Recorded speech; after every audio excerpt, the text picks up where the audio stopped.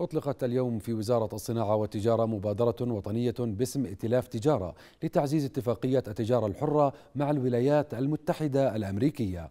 وسيركز الائتلاف الذي يضم 36 عضوا ممثلين عن الحكومة الأردنية والوكالة الأمريكية للتنمية الدولية في الأردن ومنظمات القطاعين العام والخاص على زيادة تنوع الصادرات الأردنية إلى السوق الأمريكي وجذب الاستثمارات الأمريكية إلى الأردن إضافة إلى استغلال اتفاقية الخدمات الموقعة ما بين البلدين.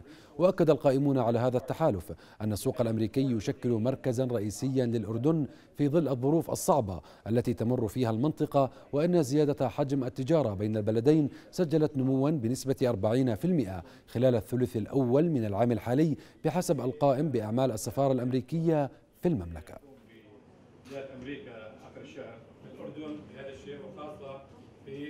نتطلع من هذا التحالف أن يكون هناك زيادة وتنويع في الصادرات الأردنية وعلى أرض الواقع بأول خطة تم اتفاق عليها سيكون هناك زيارة لوفد من 50 شركة أردنية لأربع ولايات آه، أمريكية في نهاية هذا الشهر. نتأمل إن شاء الله أن تكون هناك نتائج طيبة بما يعكس المنفعة للقطاع الخاص في كل البلد. نحن نروج لكون أو لجعل الأردن مركز أو منصة تنطلق منه شراكات أردنية أمريكية بهدف إعادة إعمار المنطقة وهذا سيخرجنا إن شاء الله من حالة صعبة إلى حالة أفضل بكثير التي نستحقها نحن في الأردن بشكل خاص.